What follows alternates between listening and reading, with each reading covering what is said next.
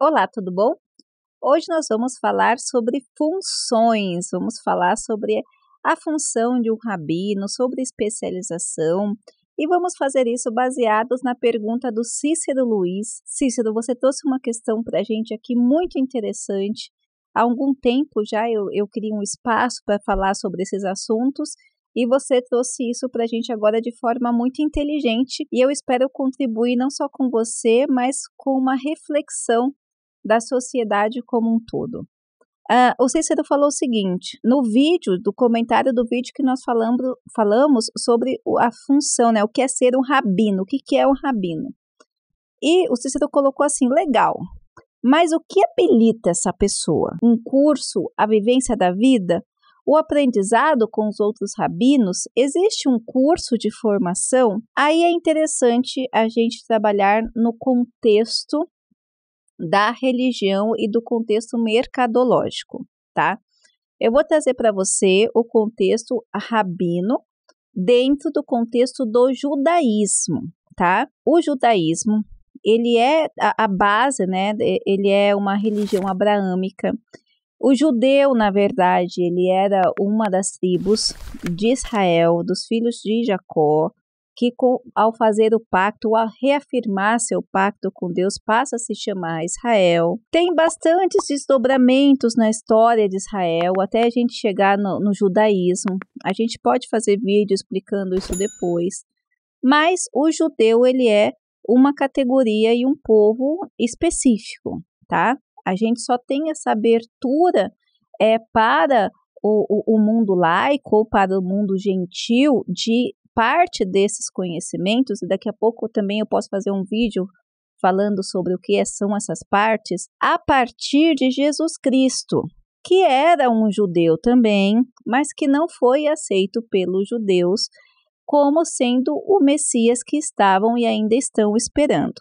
Então, note, para você entender o que é ser um rabino, você tem que entender o judaísmo, tá? Lá desde Abraão, Isaac, Jacó, vai chegar Moisés, vai sair do Egito. Então tem toda uma, uma história longa, uma história de, é, é, é, de, de, de, criação, de, de moral, de costume, dos mandamentos, das leis e assim por diante. O livro sagrado, o livro base do judaísmo é a Torá. A Torá, os cinco primeiros livros da Bíblia, escritos por Moisés ou por Moshe.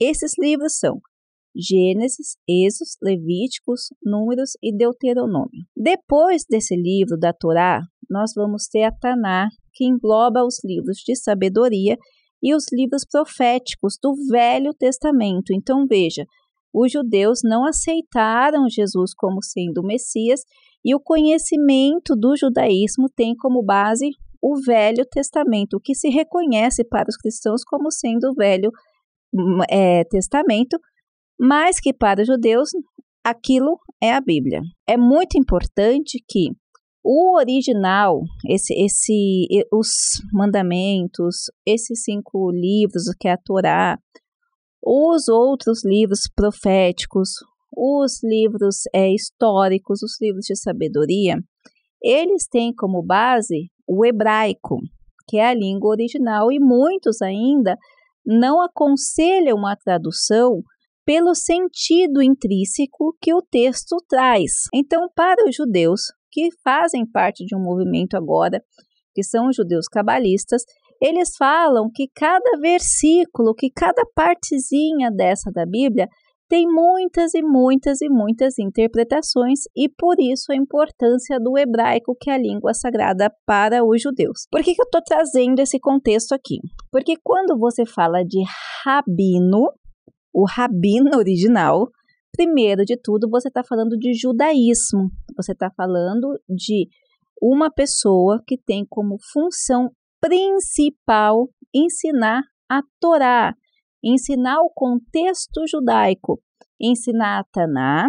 Então, se você me perguntar de função, são professores, são mestres das, da lei, são professores que vão, é, é, é, assim como tem no mundo laico, que nós somos professores e a gente vai se, se especializando nas matérias, Os rabinos também. Então, função de rabino pode ser sala de aula, pode ser liderança de sinagoga, pode ser liderança é, espiritual no sentido de, de, de, de, ficar entre as sinagogas, os rabinos que trabalham nas funções legais. Tem rabinos, por exemplo, que são especialistas em, em verificar as comidas kosher, tá? Se, ou kasher, como são falados, que são comidas que devem ter uma preparação específica dentro do contexto judaico, especialmente as carnes e os derivados de carnes é, perdão, as carnes e os, os leites e derivados de leites, para saber se pode dar o selo de comida kosher, também os vinhos, os seus vinhos são preparados de acordo com as leis judaicas. Então, o rabino, que, que, o que, que ele faz? Ele, em primeiro lugar, ele tem que ser judeu. Segundo lugar, ele tem que estudar muito. Alguns rabinos com quem eu estive conversando, eles ressaltam que são cursos diversos e que estudam cerca de 7 a 8 horas por dia, porque envolve um estudo intenso e os períodos são diferenciados de acordo com o círculo, de acordo com o movimento, de acordo com a sinagoga e de acordo com as especializações que eles fazem. Então, veja, você me pergunta, é um curso ou uma vivência de vida? São cursos. O aprendizado, vários tipos de aprendizado, desde o oral até o escrito. O ensino do hebraico é obrigatório para todos eles, por essa importância que se tem na língua original. Então, se você conversar com o rabino, você vai perceber que eles têm, todos eles puxam um pouco o sotaque, porque é difícil você é, é, é, é falar o hebraico e o português e outros idiomas, então tem um sotaque diferenciado, mesmo sendo brasileiro. Algumas vezes eles param um pouco para pensar nessa questão do significado, e é um curso de, a, muito extenso, muito profundo, e aprendem também com outros rabinos. Então, quem ensina um rabino é um outro rabino que é especialista para isso. Agora, o que, que, é importante, o que é interessante a gente falar, e agora eu vou te falar como cientista da religião. Ah, o que, que acontece? Isso é o contexto hum, real o contexto lógico do sentido rabino. No entanto, algumas, algumas é, é, instituições religiosas, aproveitando-se né, desse contexto até mercadológico da religião, têm ofertado os cursos de rabino. Então, há cursos que visam a capacitação. Então, muitas religiões, essas religiões, eu não vou entrar aqui no, no conceito de neopentecostal, é, protestante reformada, pós-neopentecostal ou worship, são movimentos que a gente vê acontecendo. Então, eu vou falar que algumas religiões, não vamos conceituar isso agora nesse vídeo. Se você tem dúvida, deixa aqui. Eu terei o prazer de explicar para você dentro do sentido histórico, antropológico, dentro das ciências da religião é, não tratando como ideologia, mas como história, antropologia e ciência, tá? Eu vou fazer, você só deixar sua dúvida que eu vou ter o prazer de falar.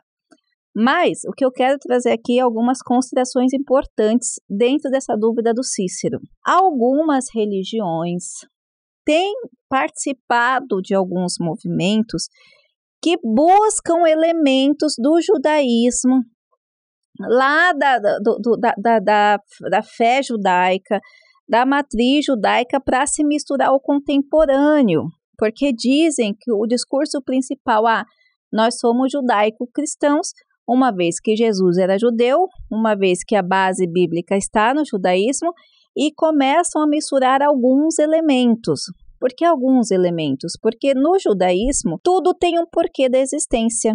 Então tem o porquê do Kepá, tem o porquê do tefilim, tem o porquê de várias é, rezas, tem o, o, o, o porquê das festas, tem o porquê de algumas vestimentas.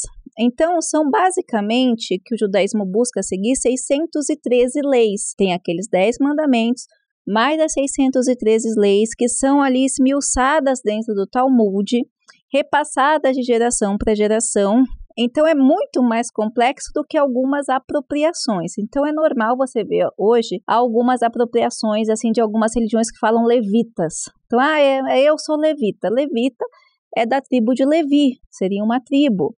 É dentro das doze tribos de Israel. alguns é, é, líderes religiosos que usam quepá ou que usam algumas outras manifest alguns outros elementos e símbolos do judaísmo. Por que, que eu estou trazendo isso à tona? Porque tem na internet cursos online para ser rabino, mas o rabino original está todo dentro desse contexto que eu estou trazendo para vocês. Então, o que você tem eh, são cursos de nomenclaturas que usam o nome de rabinos, provavelmente para que seja mais um dos nomes as que algumas religiões se apropriam. Antigamente, o que, que nós tínhamos de, de mais é evidente dos líderes religiosos? A nomenclatura de padre para a Igreja Católica, de pastor ou reverendo para uma igreja protestante, reverendo para as igrejas reformadas, e depois da década de 1920, começando ali com os movimentos pentecostais, apareceram muitos outros nomes, é, como missionários, apóstolos, é, enfim, muitos outros nomes que não é que esses nomes não tinham, mas no, era um, um, um significado diferenciado. Agora esses nomes têm sido apropriados para é, é, evidenciar essas lideranças. Então, rabino tem essa função. Se você me perguntar, Cícero, o que, que habilita uma pessoa a ser rabino dentro do contexto judaico, é esse contexto que eu trouxe para você. Agora, tem curso online. No contexto judaico, você vai trabalhar com o ensino e com todas essas categorias que eu falei. Agora, se você fizer um curso na internet que fala que você pode ser rabino, a não ser que você queira estar na frente de uma igreja dessa e use esse nome de rabino, não te habilitaria para muitas coisas dentro do contexto judaico. É igual a gente pode colocar essa nomenclatura para muitas coisas, né? Por exemplo, você pode é, chamar um, uma pessoa, um político que não tem formação de doutor, por exemplo, é um costume. Ah, o doutor fulano, mas ele não tem doutorado. Ele vai ser chamado? Vai, mas ele vai ter o conhecimento de um doutor? Não, não vai. Então, é, ele vai atuar como o quê? Como um político, mas as pessoas chamam de doutor. Então, são, são contextos que são apropriados de acordo com o mercado, a cultura, todos esses aspectos, esses elementos que a gente tem que discutir com mais profundidade e tempo, né? Não é num vídeo desse que eu procurei aqui foi fazer uma analogia para você entender que é essa é, eu, eu vi alguns cursos desse online, mas no contexto de ser um rabino mesmo, você não vai conseguir fazer um curso online e chegar numa sinagoga.